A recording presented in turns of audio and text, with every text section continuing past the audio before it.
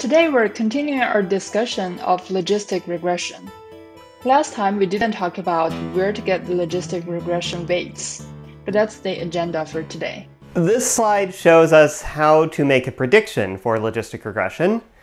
Uh, take the dot product of the weight vector and an example, uh, pass it through a logistic function. That gives us the probability of a label given our data, and it's used for lots of different applications, spam detection, ad placement, things like that. It's a general purpose ML tool, but to get the weight vector beta, we need to talk about the objective function. It's a function of your weights for logistic regression and your training data. This looks a little like the prediction equation, but now there's this logarithm function in there. Why is that? This represents the probability of the training data labels given our logistic regression model and training data input x.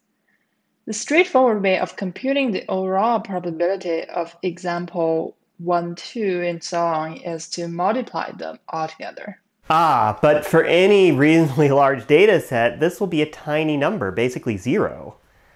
Exactly. So instead, we'll take the log of the overall probability. But taking the log of the product is the same as the sum of the individual log probabilities. But why is it okay to take the log in the first place? Remember that our goal is to find the parameters that give you the highest probability of the data. So it's like a ranking of all the models. The logarithm function is a monotonic function, so it doesn't change the overall ranking. Okay, now I'm starting to get scared. When we talked about optimization, we needed the derivative of the function that we're trying to optimize. That's true, but the chain rule makes things relatively easy. If you have one function that's a composition of two others, the derivative of that first function is the product of the chain of the individual derivatives with respect to each other. Okay, I can see that would make things easier for us, but what the heck is the derivative of the logistic function? Still, nothing to be afraid of. The gradient of example i's contribution to the objective function with respect to the feature j is just the logistic function times 1 minus the logistic function times the j's coordinate of example i. Our objective function is a composition of log and the logistic function. Luckily, I remember that the derivative of uh, the log function is 1 over v. Right. The one last thing we need is that the derivative of a sum is the sum of the individual derivatives. That's another reason we turn the product of individual probabilities into the sum of log probabilities. Uh, so let's go through this. We have two cases, one for positive examples and one for negative examples. Let's do y equals 0 first. The negative sign comes from the minus sign in front of pi inside the log. We get 1 over 1 minus pi i from the logarithm function, and that gets multiplied by the derivative of the logistic function, which cancels out the 1 minus pi i to give us negative pi i times xj. For the case of y equals 1, it's the same, except that the pi cancels out. We can merge the two cases together by writing the gradient as y minus pi i times xj. Okay, then we can optimize the function now? Yes, and one nice property of the logistic regression objective function that we won't prove here is that it's convex there's only one best answer. This won't be true for future models, even those we'll talk about later today. Thus, it doesn't matter where you start in terms of your betas, you can always get to a better place in your objective function. Ah, so the top picture here is non-convex and the bottom picture is convex. Uh, we, we talked about optimization generally before, but how does it apply here? We start with some random setting of weights beta, evaluate the gradient, and update the weights. We repeat that until the weights stop changing, and each time the objective keeps going up.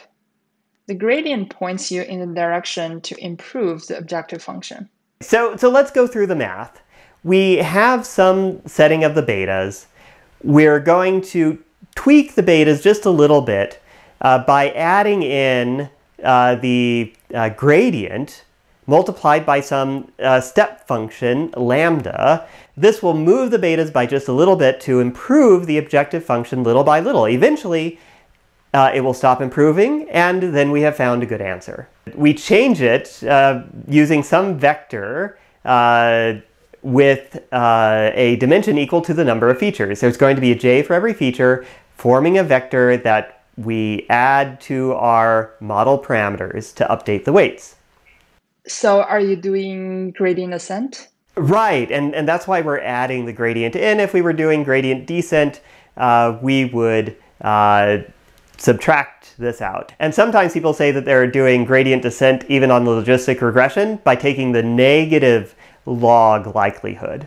So how do you set this step size lambda? Setting the step size, the Greek letter lambda here is important. If it's too big, you can bounce around either side of the optimum you're looking for. If it's too small, you might never get anywhere near it. Are there any other problems we should be aware of? Sometimes the weights get too big and overfit. Sometimes we'll tweak the objective function by adding a penalty for having weights that are too large. This is called regularization. It's often used for both logistic and linear regression. But this would change the objective function and the gradient, unless mu were zero, in which case it would be what we talked about before. Yes, exactly. The other thing to watch for is that sometimes the regularizer could make the objective function non-convex. In this case, luckily it's still convex, um, but it's important to know there's other possibilities. When we talked about the residual sum of squares objective for the linear regression task, that corresponded to a Gaussian interpretation over the errors. The penalty term here looks a little like that again. Is there a connection? So this does correspond to a prior over the weight values, where you want to prefer weight values that are smaller. Indeed, it assumes that the betas come from a Gaussian with mean zero. You can also have what are called informed priors if you have a guess of what the feature weights might be. Okay, I'm still not clear how we actually compute the gradient. Yeah, it's often hard, particularly for big data sets. We can't fit all of our examples into memory. So let's say that we're Google and we're trying to do a spam filter, and we have all of the emails that have ever been sent to Gmail and won't fit on a single machine, nor will it fit on most clusters. Can we still solve this sort of problem even if we can't fit all of our data into the memory? Or maybe we're Twitter and our data is inherently streaming. We don't keep track of all the tweets all, all time. We might just only look at the most recent n days of data. You've written the update with this funny looking E here. What's going on? Well, another way of thinking about a gradient is that it's an expectation over some distribution. So the E stands for expectation. While Google has a bunch of emails, it doesn't have every email in the world. It's just a sample from the distribution. So any gradient is really going to approximate the distribution. So what you're saying is that maybe we can just use some of our data to update the parameters? Right, here's the analogy. Let's say you're asking directions to Union Station from UMD. Do you go door to door and ask each of the 40,000 students at UMD which direction the station is? That would be a better excuse than the one I have for why I haven't left uh, College Park for a month. Uh, but seriously, no. I'd, I'd ask one person, maybe two. That one person can give you bad advice, though. So maybe you don't trust one person. You might ask K people. Okay, I see where this is going. We can get a sense of the gradient from a subset of the data. And this is why it's called stochastic gradient updates. We're taking a stochastic, basically a random sample of examples, which gives us a gradient that updates our parameters. But even if you ask three people each time, they could all be wrong, right? Of course, this is why the step size is so important. Even if you get bad advice from one estimate of the gradient, you won't go too far until someone points you in the right direction. Over time, it will average out to the right direction. Okay, so how many data points uh, do we take estimates from? The set of examples that we use to compute the gradient is typically called a mini-batch. This is in contrast to computing the gradient over all examples, which is called a batch update. Setting this is finicky, just like setting the learning rate. But for ease of explanation, we'll just use a single example, and that's a mini-batch size of 1.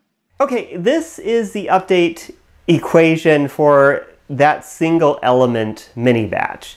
So I make a prediction pi i for this example.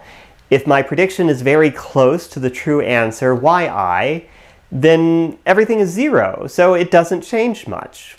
Our guess was pretty good, so the parameters don't have to change. Conversely, if pi is very different, the size of the feature value uh, tells you what way you should change your weight uh, because they're multiplied together. Let's dig into that a little bit more. What happens if your prediction was higher than the true y and x is negative? That means that the weight will get smaller. How about your prediction was lower than the true y and x is negative? A negative times a negative will be positive, so the weight will get bigger. Just to make this a little more complicated, let's add in the update if it's regularized. What does this do to the weights? Well, it doesn't do much. It doesn't care what our predictions are. It doesn't care what the feature is. It just makes the weight smaller. That is, closer to zero.